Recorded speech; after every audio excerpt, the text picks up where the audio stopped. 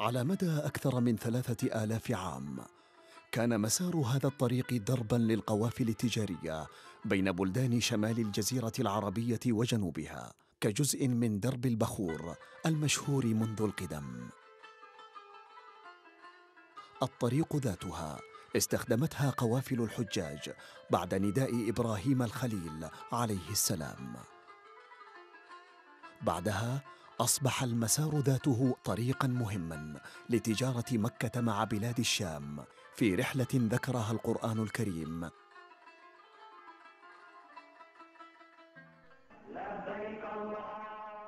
نداء الحج الخالد. أصبح لكل الناس وها هم المسلمون يلبون نداء الله من كل مكان. مع الأيام أصبح درب الحج الشامي أحد أهم المسارات التي يسير عليها الحجاج كل عام حيث كان يجتمع في دمشق حجاج أواسط آسيا وبلاد فارس وشمال العراق وأرض الأناضول وأهل القوقاز ومسلمي أوروبا وبلاد الشام كل عام. يبدأ المسار من دمشق ليمر ببصرى الشام أو درعا كما هو اسمها اليوم. ثم بعض البلدات التي أهمها معان والمدورة. ليدخل الجزيرة العربية عبر حالة عمار ثم ذات الحاج ثم تبوك ثم الأخضر ثم المعظم ثم الحجر فالعلا ووادي القرى. ليصل إلى المدينة المنورة.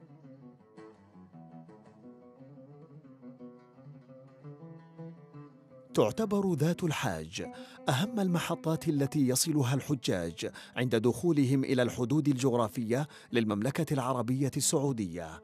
وفيها قلعة صغيرة وفيها بئر ماء مرتبطة ببركة خارجية أشارت المصادر إلى وجودها في المكان خلال العصر المملوكي.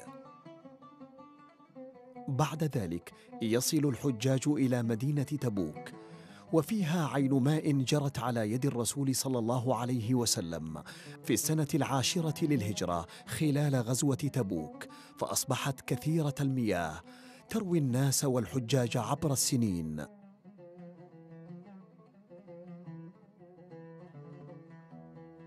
من معالم تبوك قلعتها الشهيرة التي جددت عام 1046 للهجرة وهي بناء مربع الشكل متعدد الأدوار.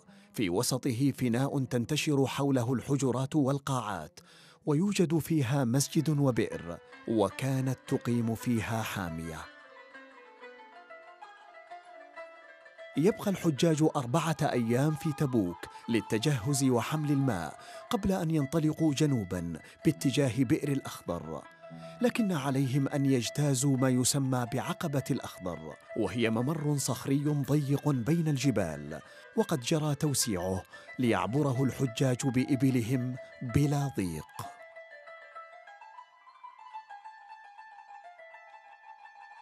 يصل الحجاج إلى الأخضر بعد أكثر من سبعين كيلومترا جنوب تبوك وكانت فيه قلعة بنيت عام 939 للهجرة. واستمرت أربعة قرون ولم يبق منها اليوم إلا الأنقاض وهذا البرج الذي يعتبر أحد معالم طريق الحج الشامي.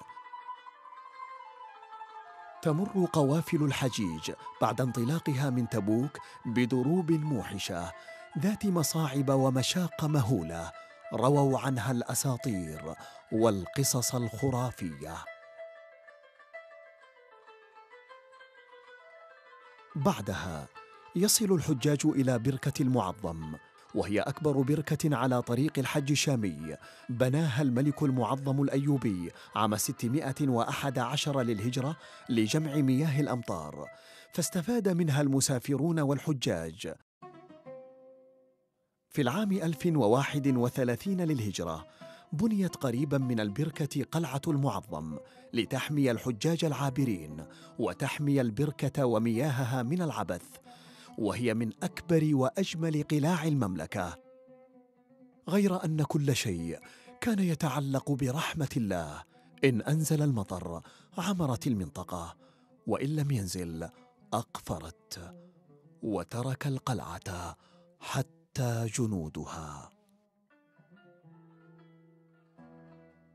وحين تغذ القوافل السير جنوبا عبر طريق الحج تمر على كثير من المواقع والقلاع والبرك التي أصبحت الآن اثارا دارسة كالقلعة الحمراء وبركتها والاجيرع وصولا إلى جبل أبو طاقة ومنها إلى جبل المطلع ثم تمر القوافل على أرض الزلاقات الشاقة عليها لينزلوا عبر ممر ضيق رملي يسمى مزحم الناقه بعد ثلاثة أيام من مغادرة الأخضر تصل قوافل الحجيج إلى المحطة الثانية والعشرين وهي منطقة الحجر مدائن صالح ليرتووا من بئر الناقة التاريخية وبرغم نهي النبي صلى الله عليه وسلم عن الشرب من شتى آبار الحجر إلا أن هذه البئر تحديدا لم ينهى عن الاستسقاء منها والإقامة عليها. وقد أقام العثمانيون قلعة على بئر الناقة اكتمل بناؤها عام 1170 للهجرة فأصبحت البئر وسط القلعة بغرض تأمينها. أما خارج القلعة فقد صممت بركة تملأ من البئر الداخلية. بعد أن تخرج القافلة من الحجر تمر بالعلا. يقيم فيها الحجاج أربعة أيام للتزود والاغتسال.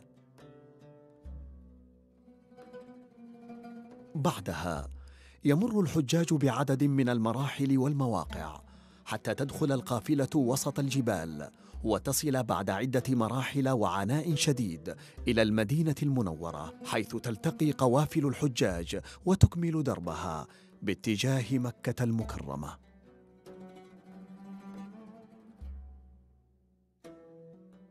هذا الطريق الذي رسمته قوافل الشام المقبلة على الله كان مسارا عبرته القوافل وأقيمت عليه محطات السقيا والتجارة والتعليم. ونقشت على جنباته شواهد ومعالم وأحجار تأسيس ومنارات كما تشرف بخدمته وتعبيده وحمايته الخلفاء والملوك والسلاطين. ثم ينتقل بعد ذلك إلى العهد السعودي الزاهر الذي عبدت فيه الطرقات بمسارات جديدة ومطورة. يعود اليوم بعد الاهتمام المكثف من قبل الهيئة العامة للسياحة والآثار وبالتعاون مع الجهات والوزارات المعنية. في جهد مميز للتعريف بمعالم هذا الطريق بما يحفظ تراث الأمة الإسلامية وهويتها ويحدث الأجيال عن رحلات الأجداد في ملحمة كان اسمها درب الحج الشامي.